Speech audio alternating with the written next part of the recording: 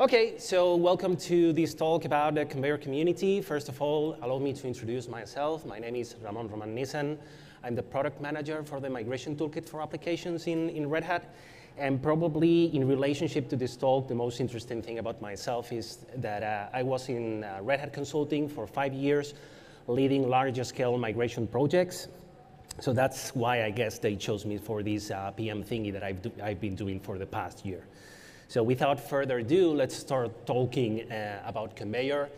And sorry for that, but I think uh, the first thing we should be doing is uh, getting a little bit of context of why we started this community.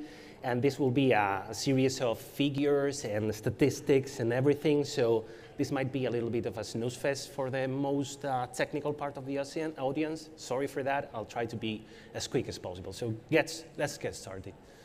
So let's get started with the latest CNCF uh, survey. 90% uh, of the respondents report using Kubernetes. So container wars are completely over. Nobody remembers other uh, container orchestration platforms, probably aside from the ones that are trying to run away from them. Uh, on the other hand, this uh, Gartner, latest Gartner forecast, uh, by 2022, more than 75% of global organizations will be running uh, container, uh, containers in, in production. So if we uh, get the two of them, then we can conclude that Kubernetes is becoming the default platform for application deployment. And it is also the target for most of modernization projects out there. Uh, I won't go through the whole uh, stuff that we have on screen, just to sum things up. There is a 30 billion business out there by 2026 related to application modernization. So that's, that's a huge number out there, especially for vendors and GSIs. But there seems to be a, a, a problem. Going back to the uh, Gartner uh, forecast, there seems to be a problem with the speed and the how uh, this modernization and migration is uh, currently happening. And the problem uh, is basically that there are a lot of uh, methodologies and tools out there, but on one hand, most of the existing tools uh, create some sort of vendor locking to any cloud provider out there. And on the other hand, most methodologies available out there sit within organizations are, and are not generic enough to be broadly transferable across uh, common scenarios. So uh, that's exactly what we're trying to solve with the, uh, with the Konveyor community. And I don't know if you're familiar with that, so we'll, we'll, we'll get through the basics, and then we will focus on one of the projects that I'm involved in. So about the Konveyor community, this is an, a completely open community that we have created to help organizations embrace, uh, adopt, and leverage Kubernetes. And we have a two-pronged approach to this uh, help, to this uh, kind of uh, yeah, ease of use of, of Kubernetes.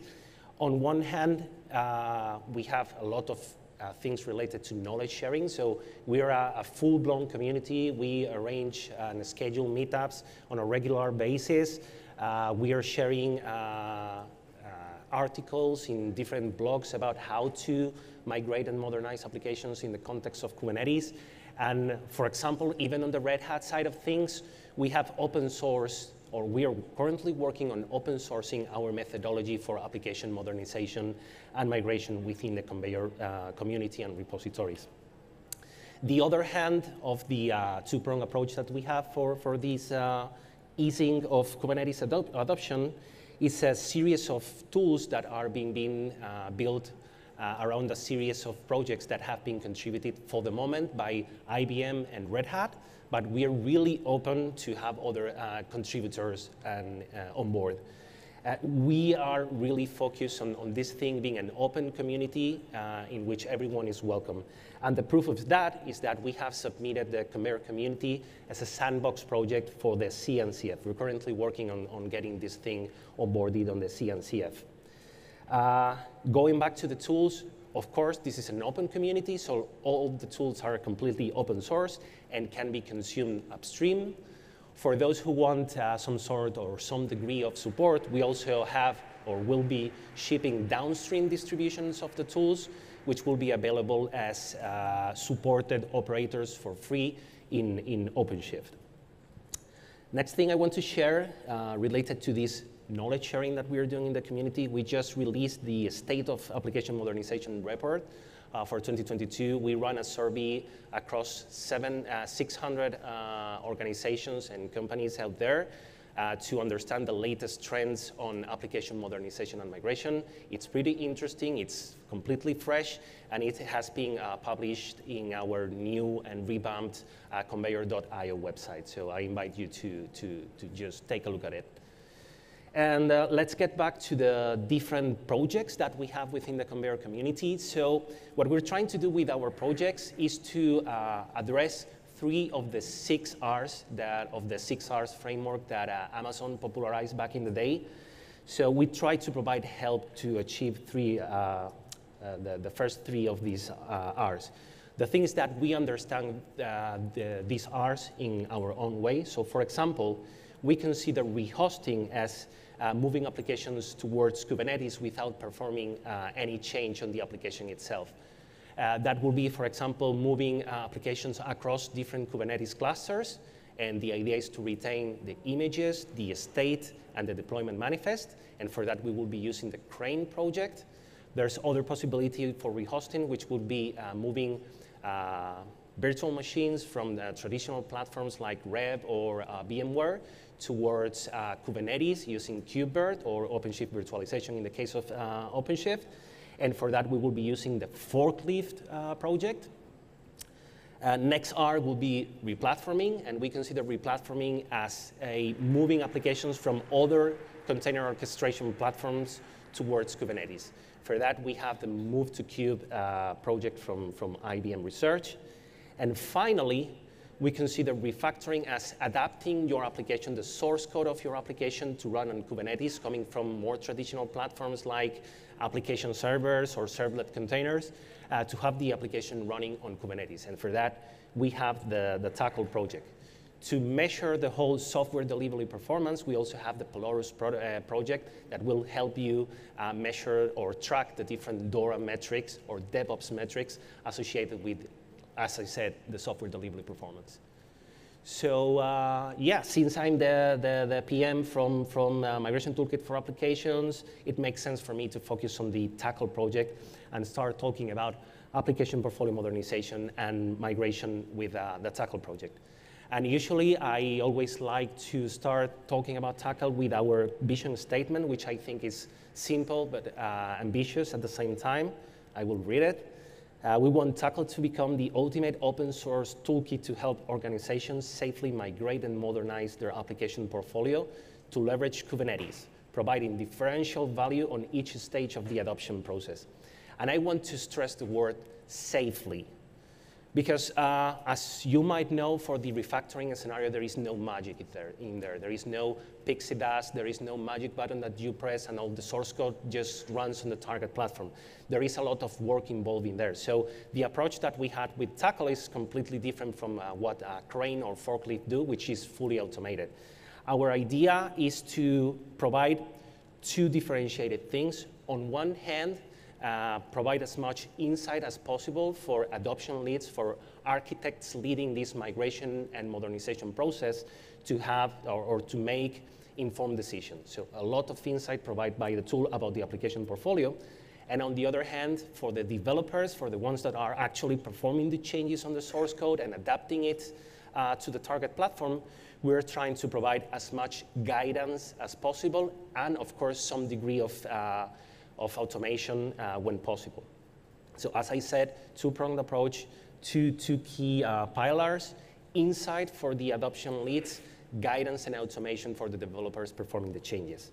The idea behind that approach is fairly, fairly easy. We are focusing on uh, reducing the risk to make the migration process measurable and predictable. So with that, once we understand the, um, the vision that we have for, for the tool, let's get into an overview of, of Tackle 2.0 that is about to be released. We have we uh, Tackle 1 released in July just uh, last year, has been around for quite some time, has been proven to be useful on the field. We are releasing Tackle 2, the next generation of, of the Tackle tooling, which will become the upstream project for the migration toolkit for application, the next generation of the tool.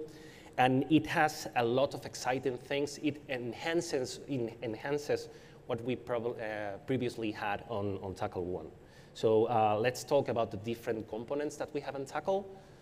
First of all, of course, an operator to make things as easy as possible, so there is no need to fiddle around with uh, charts and everything. Everything gets automatically deployed and managed with an operator that is available uh, for uh, all Kubernetes distributions out there. The only requirement is to uh, install the operator lifecycle management, manager sorry, on upstream distributions. If you're using OpenShift, that comes out of the box and should be available from, from day one.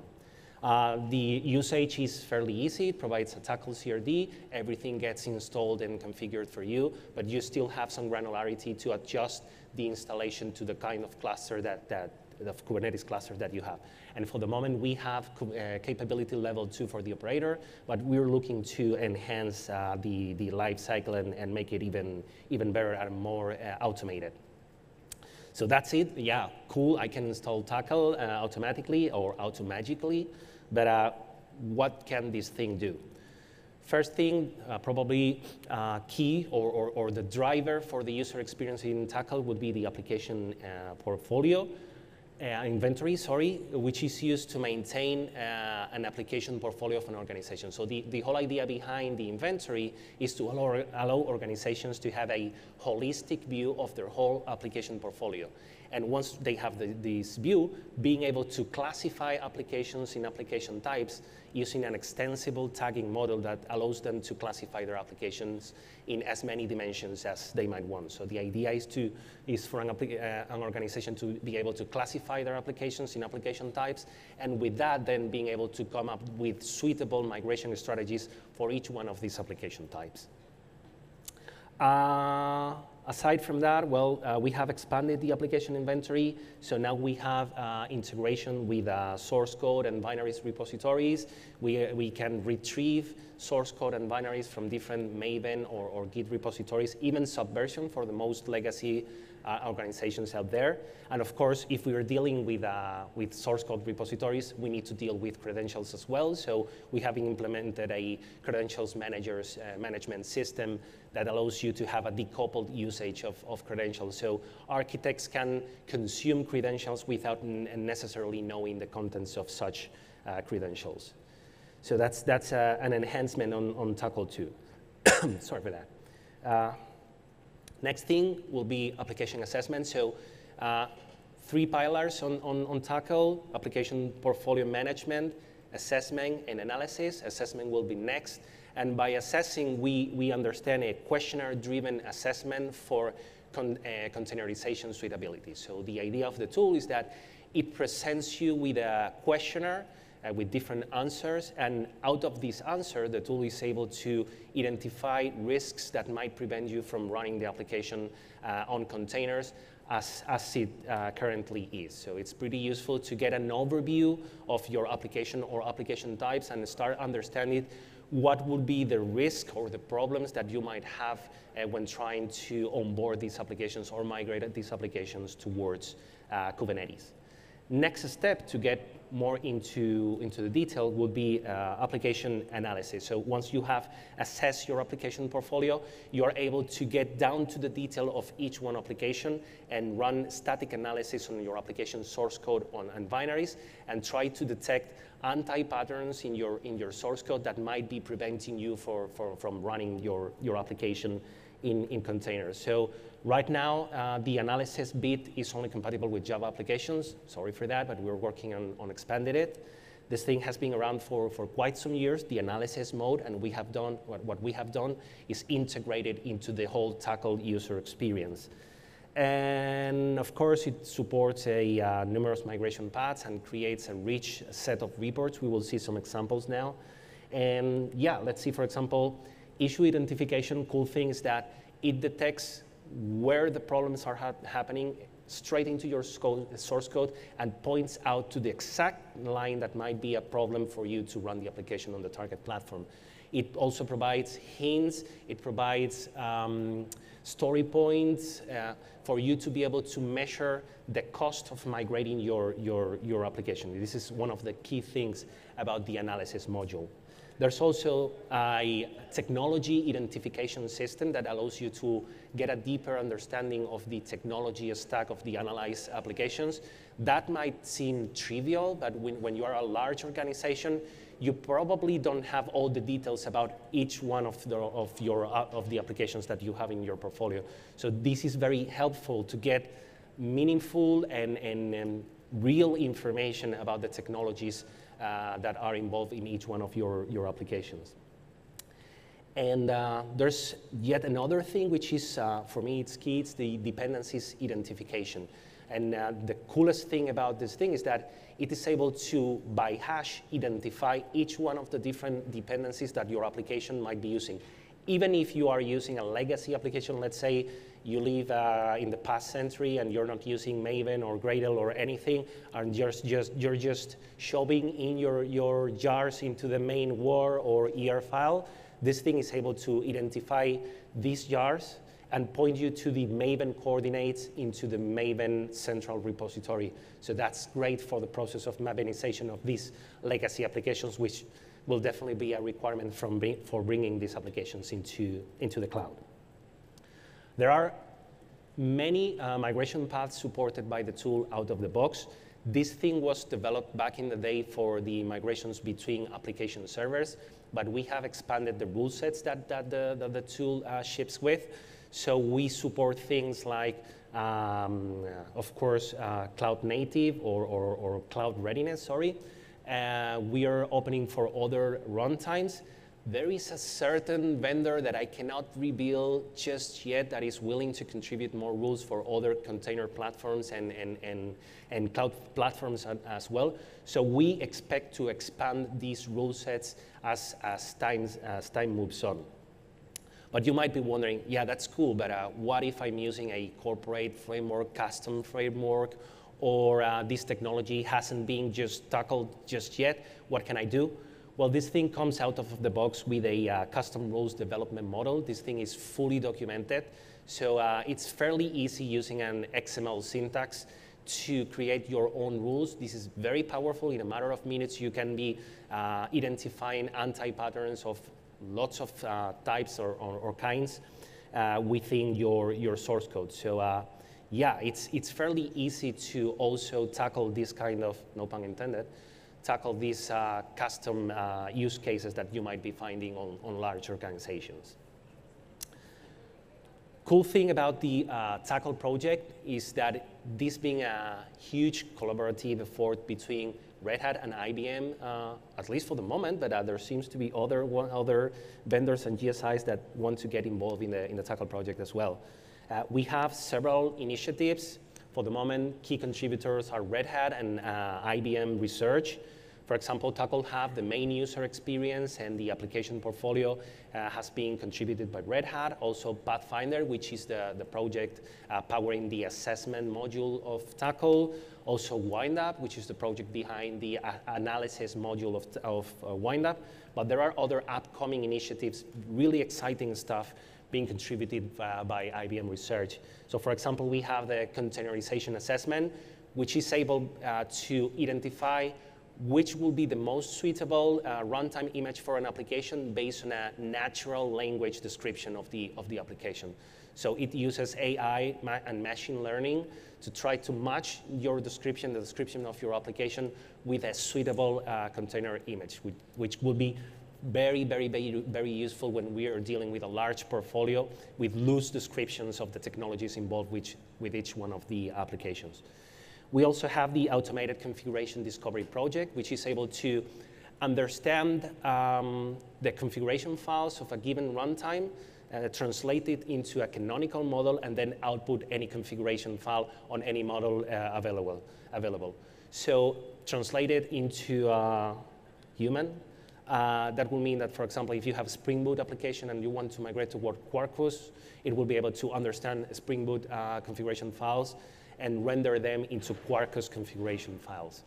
Uh, they, they want to enhance this thing with AI, so it will be able to look for hard-coded value, uh, configuration values into, into your source code and extract them into configuration files as well. There's also the Data Intensive Validity Advisor, or DIVA, like we like to call it. Which is a uh, transaction uh, analyzer. Basically, it detects uh, uh, dist distributed transactions in your source code and it's able to tell you which are the different participants of these transactions and everything. So it basically analyzes the, the storage layer of your applications and gives you insights on the different actors, data stores that might be involved, which is especially uh, useful when you're trying to, your, to split your monolithic application into, into microservices. And finally, we have test-driven modernization, which uh, is one of the most exciting things in there. The idea behind that is to create some sort of safety net uh, so basically, the, the main problem when, uh, that you have when you are trying to migrate is to ensure that the application behaves the same on the target platform. So this thing, uh, using automatically generated uh, unit tests, will be able to create a uh, functional profile of your application that can, be, can then be used when the application has been to migrated to ensure that the application behaves the same. So this is a really cool thing. I'm running out of time. Couple minutes? Okay, so let's talk uh, about the roadmap for Tackle. I will just focus on the next uh, release. By June, we will have Tackle 2.0 out there. We expect to have uh, an enhanced version of Tackle 2. Uh, of, of Tackle 2, Tackle 2.1 by Q3, having integration with some of these uh, Tackle projects from IBM Research that we discussed, and also for, uh, with Move2Kube. And uh, you might be saying, yeah, that's cool, but I, I, just want to try this thing. So Tackle 2 beta is out now. now. So right now it is uh, available in the Tackle 2 operator uh, repository. There are instructions in there to, to install the, the tool. And we expect to have it uh, available in Operator Hub by the end of the day today, or maybe tomorrow. But if that's not enough, we will be demoing the whole thing uh, by tomorrow on the Red Hat booth. There is a demo theater in there. I, will be running a demo of Tackle 2 at, uh, yeah, for, for uh, quarter past four. I don't, have, I don't think we have time for questions, but uh, I'll be around. I'll be around the Red Hat booth. So thanks, everyone.